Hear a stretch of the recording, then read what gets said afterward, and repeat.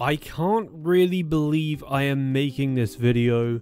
You know what guys, it's getting worse. There are so many world record holders being banned, suspended, and it is driving me insane.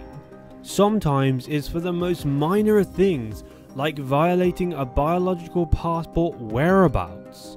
Did you guys know that many years ago I covered a race on my channel which was the Valencia 10k road race.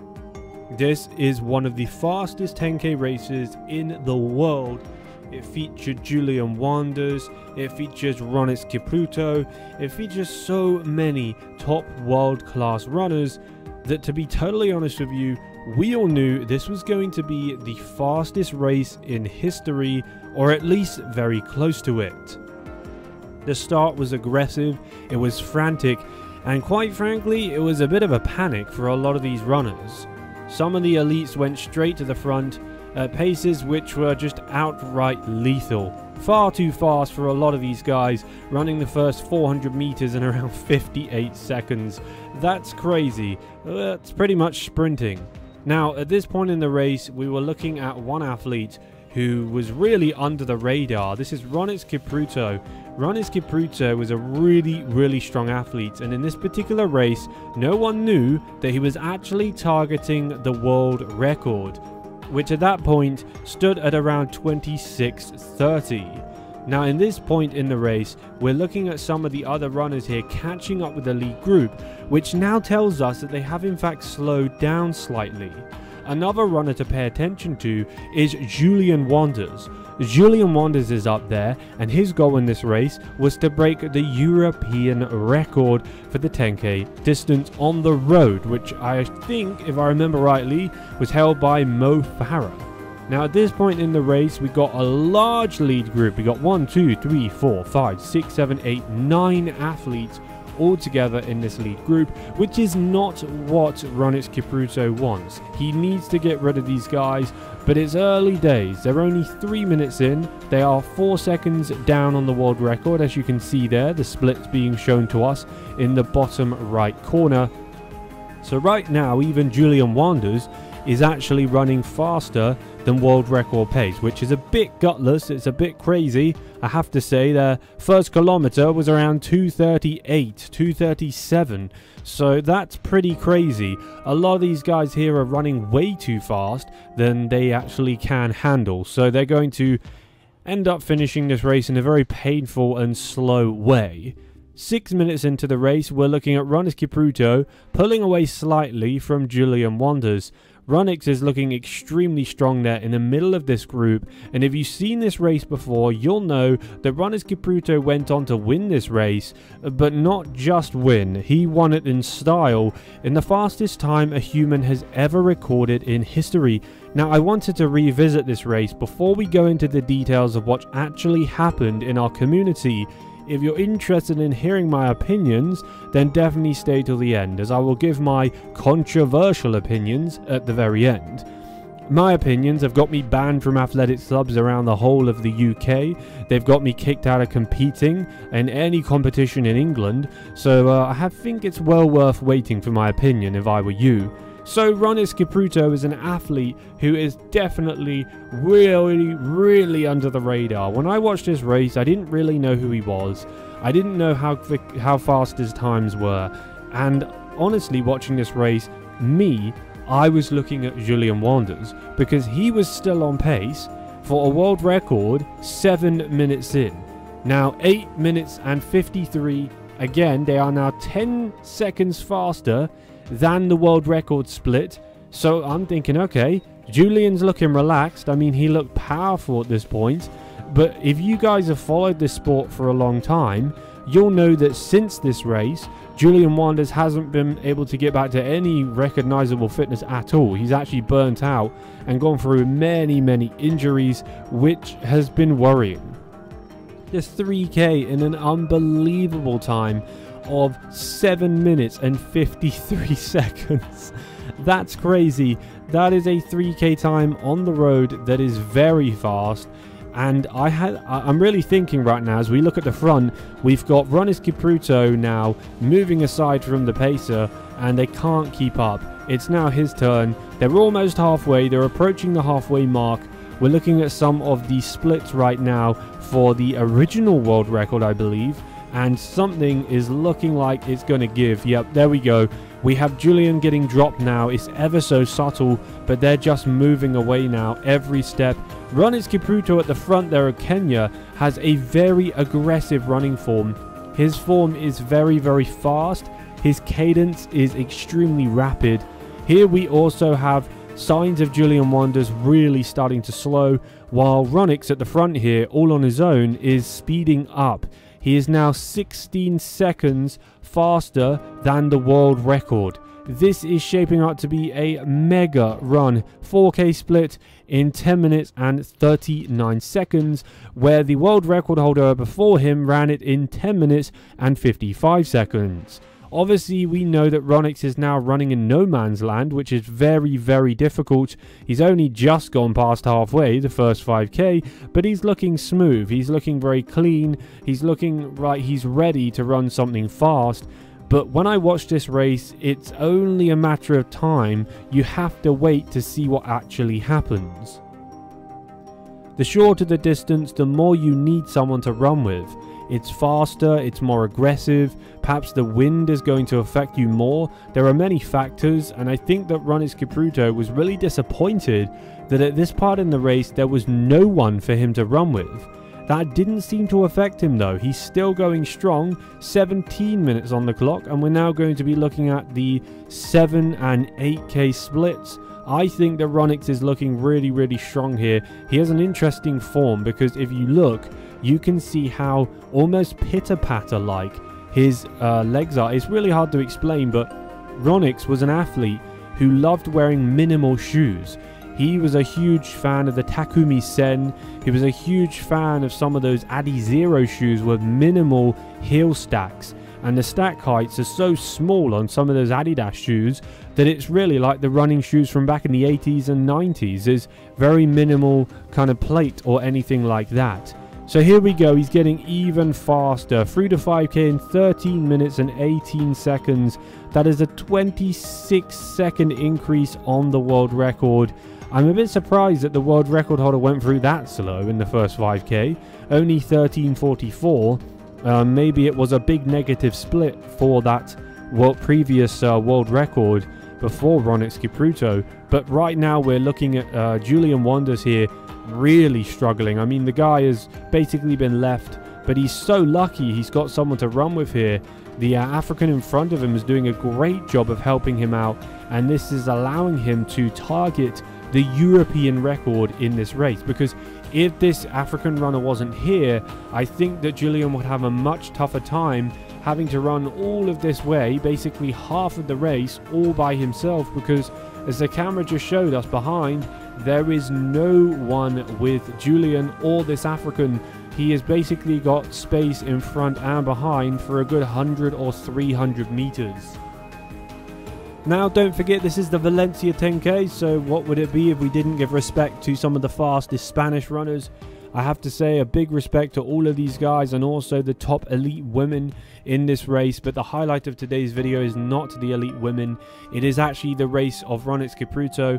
And then I will talk about what has happened in recent news after this race. It's very important you stay tuned until the end to hear what has happened, how it happened, why it happened, and what my controversial opinion is on this issue with them banning and removing the 10k world record. It's crazy news.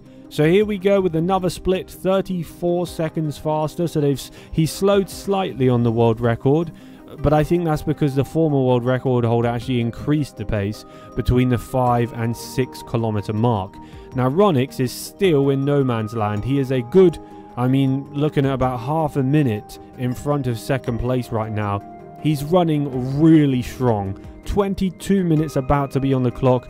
No one's stopping him. Just got to be careful here because a lot of these scooterists, one mistake, one wrong turn, and they could really hurt someone and make a big mistake. You've got to put a lot of trust in these organizers of races. It's great to see they do so much work for these races, and I highly respect them. Without them, we wouldn't have this footage. in order to criticize and commentate and just react to. You know what? Rhonex Kipruto at this point was showing signs of fatigue. He was starting to grimace and he was running a bit funny. I don't know why, but when he came into these bends, he was hugging the bend a bit too wide, which to me was interesting because a 10k race, every corner matters. You know, a 10k race is short compared to a lot of these guys. And don't forget that Rhonex Kipruto's run well under one hour for the half marathon. So he is also an athlete who has endurance on his side.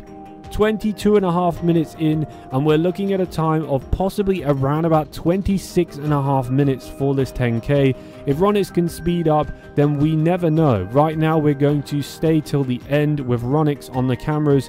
He is grimacing like crazy. You can see his teeth through that smile and he is trying everything he can to maintain this pace. One thing that really, really shocks me is just how easily his body can run at this pace. I know that he's probably feeling a ton of pain right now, but the truth is, when I watch him run this pace, it doesn't look like it doesn't look like four minute per mile pace. I'll be honest, he makes it look so really relaxed and so really easy. Here's another split come in there, 8 kilometers in 2111 48 seconds faster than the former 10k world record split at that point. Right now, we're looking at a possible huge world record in this race. I think the Rhonex is going to run around 26.30. It's been a year or, well, I haven't watched this race in many years actually because it happened many, many years ago.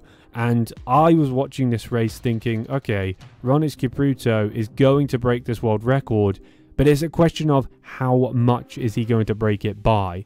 When you watch this athlete, you want to see just how crazy times he's going to run. Here are the bikers and the cameramen being instructed to move to one side as Rhonex comes through for the last 300 meters here under these uh, banners slash floats. He's got to hold it together now because this last few hundred meters he's going to tie up he's going to be in a lot of pain. And I have to say that right now, he still looks strong. I mean, he's not even lost his form. His biomechanics are clean. He's still got that really fast cadence and crazy fast turnover. There's nothing I can fault him on. He has one of the best running forms in the entire running world. And here he is coming through for the world record. So this was the official world record back many years ago. It was a time of 26 minutes and 24 seconds officially by Rhonex Kipruto of Kenya. Okay, so now that's over and done with, we'll give a quick mention to Julien Wanders and then we'll get down to the real details of what's actually been happening. I'll bring up a news article from the BBC, one of my favourite sources who I believe are credible in instances and situations like athlete news. Um, not everything, don't get me wrong, I'm not saying they are uh, trustable with everything, especially after what happened in recent years. So, right now, we're looking at a sprint finish with Julien Wanders. This is phenomenal. I mean, if this African wasn't here with Julien, he wouldn't have broken the record, I don't think. He wouldn't have run this fast. I mean, it's phenomenal to see. I haven't seen Julien Wanders sprint like this in many, many years. Great running, took him all the way to the line, 27-13. What a great run by Julien Wanders. So congratulations to Julien. Um, I hope he gets better with his injuries and issues because I'm missing him. I'm missing his performances on the European circuit. I've kept an eye out for him, but he has been really struggling to get back to any form of fitness. Right, let's move on to the real bit of this video. Right now, we're going to be looking at a BBC article. It's about uh, Kipruto being, well, banned for six years, basically. I, I'd class this as a suspension because he's allowed to come back, so I wouldn't class it as a permanent ban. Um, but he has been banned for six years, which is a long time in an athlete's life. I mean, I don't know if Kipruto will come back from that. He does have age on his side, but he would have to train for a very long time to try and hold his fitness and maintain it. Along with that, they have removed his 10k world record. And um, yeah, I mean, he's been banned for six years. Now let's read a bit of this. He's been banned for six years because of irregularities found in his athlete biological passport. The 24 year old, he's younger than me uh, by one year, so he's got age on his side. If he was to try and outlast this ban, he would be 30. Anyway, let's get back. The 24 year old will be stripped of his record, which he set in Valencia in 2020. He also got a 10,000 meter bronze medal at the World Champs in 2019. He will be banned until May 2029 after being previously suspended on the 11th of May 2023 for violating anti doping rules. An ABP is an electronic record which tracks an athlete's biomarkers over their career. If these markers change dramatically, it alerts officials that the athlete might be doping. The tribunal rejected Kipruto's defense, concluding the cause for the abnormalities in the ABP is more likely to be due to blood manipulation, such as through the use of recombinant, recombinant human erythropoietin, or EPO, said the Athletics Integrity Unit, which was enforcing the ban. Uh, so, yes, I mean, in other words, blood manipulation, guys, is where you take out your blood, freeze it, spin it, reoxygenate it, and then inject it back into your body in a week or a month's time. Um, this is something that aids your performance by making your blood volume thicker, higher, your oxygen levels, your red blood cells way higher, because when you take blood, your body will create more blood to replace that. However, if you then put that blood you took back in your body, you'll have extra blood and you'll basically be manipulating your own body in a way that's extremely unhealthy, might I add. Do not ever do that, okay? But it will aid your performance.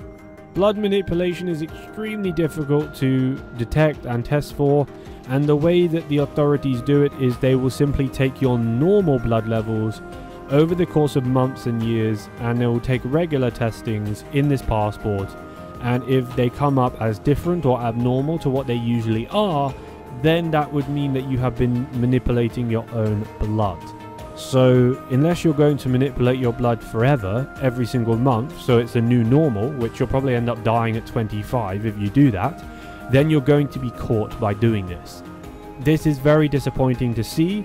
Kipruto, I think, did actually counter and try to um, d- defend himself.